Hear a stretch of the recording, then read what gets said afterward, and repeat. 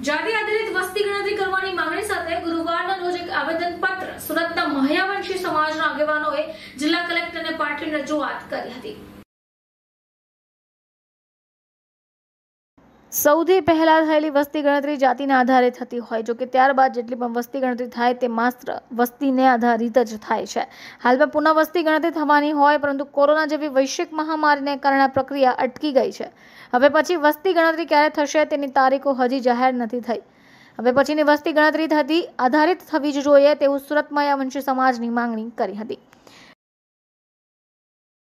કાંતિભાઈ રાંડેરિયા સુરત શહેર જિલ્લા બારપરા માયાવંશીના સમાજના પ્રમુખ તરીકે અને સાથે બાવીસ સંસ્થાઓની સાથે લઈને બાબા સાહેબ આંબેડકરની વિચારધારા અને રાષ્ટ્રીય અને ગુજરાત રાજ્યની જે કોરો વાયરસની સિસ્ટમને ના નેજા સિસ્ટમને હાથે લઈ અને એના નિયમનું પાલન કરતા હમો સૌ સમ- સમગ્ર બાવીસ બાવીસ સંસ્થાઓ અને બારપરા માયાવંશી સંસ્થા તરફથી અમો જે આવેદનપત્ર આપવામાં આવેલ છે તેની એ- આવેદન પત્ર એટલા માટે અમે આપેલું છે કે ઓગણીસો, અઢારસો ને અઢારસો ને છપ્પનમાં, અઢારસો છપ્પનની અંદર પહેલું વહેલું અંગ્રેજ અંગ્રેજ લોકો તરફથી આ વસ્તી ગણતરી જાતિ આધારિત કરવામાં આવેલી.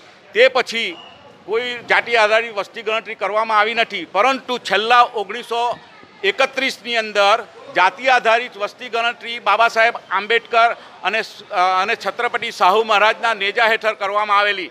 અને એ એ બેઝના ઉપર અનામતની ટકાવારી ગણવામાં આવેલી, તેમાં સાત ટકા અને ચૌદ ટકા ગુજરાતની અંદર અનામતની શિડ્યુલ કાસ્ટની સાત ટકા અને શિડ્યુલ ટ્રાઇબ માટે ચૌદ ટકા અને કેન્દ્રની અંદર સાત ટકા ચૌદ ટકા અને સાત ટકા પ્રમાણે અનામત ઓગણીસો એકોતેરના ધારાધોરણ મુજબ, એકત્રીસના ધારાધોરણ મુજબ કરવામાં આવેલી.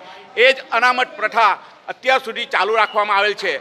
તો એ પ્રથા નાબૂદ થાય અને આ હાલના તબક્કે જે વસ્તી ગણતરી જે કરવામાં આવે, તો અમારી માંગ એવી છે કે જાતિ આધારિત જો વસ્તી ગણતરી કરવામાં આવશે, તો અનામતની પ્રથા વધશે અને અનામતની સીટો વધશે. અને એ બેઝની ઉપર અમો રાષ્ટ્રીય લેવલ પર આ આવેદનપત્ર કલેક્ટર મારફત, કલેક્ટર સાહેબ મારફત આપવા માંગીએ છીએ સેન્ટ્રલને અને ગુજરાત ગુજરાત સરકારને તેમજ ઇલેક્શન કમિશનરને કેન્દ્રને અને ઇલેક્શન કમિશનર ગુજરાતને આપી આ આવેદનપત્ર આપીને એ કહેવા માંગીએ છીએ કે અમારી જાતિ આધારિત વસ્તી ગણતરી થાય અને જો અમે એ વસ્તી ગણતરી જો ન થવામાં આવે તો અમે ગાંધી ચિંડિયા માર્ગે કાર્યક્રમ કરીશું અને તે પણ ન થાય તો અમે સુપ્રીમ કોર્ટ અને હાઈકોર્ટની અંદર ન્યાયિક માંગણી કરીશું.